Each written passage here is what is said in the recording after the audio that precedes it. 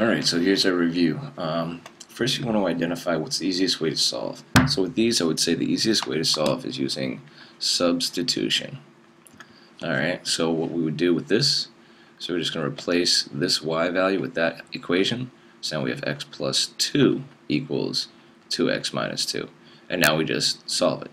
So we're going to uh, subtract 2 from both sides and also minus a 2x from both sides so that cancels the negative, uh, 2x there, that cancels the 2 there.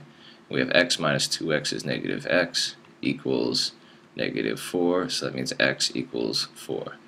So then we need to get our um, y value, so we plug that into either one of the equations. So y equals 4 plus 2, so y equals 6. Check it in the other equation. 2 times 4 minus 6, I mean minus 2, equals 6, so that works. So these are this is our answer. Or you can write it as an ordered pair. That works as well. So here we have y already solved for, so we're going to take this and plug that in for y in the other equation. So we have 4x, instead of plus 3 times y, now it's 3 times this. We're replacing that. So 5x minus 8 equals 33. Now, all we do is just follow our regular method for sol solving an equation like this. So we're going to distribute first, and we'll solve for x. So we get this.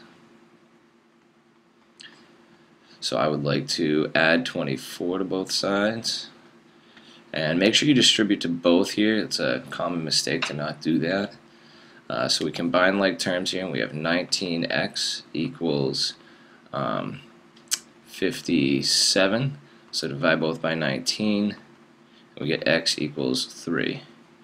So then we plug that into either one. It's easier to plug it into the top one because y is already solved for.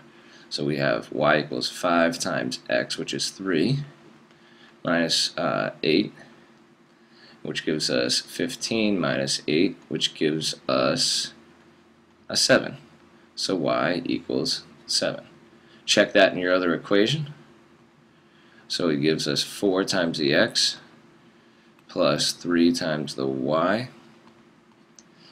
equals uh, 12 plus 21 equals 33. So it works. We did it right.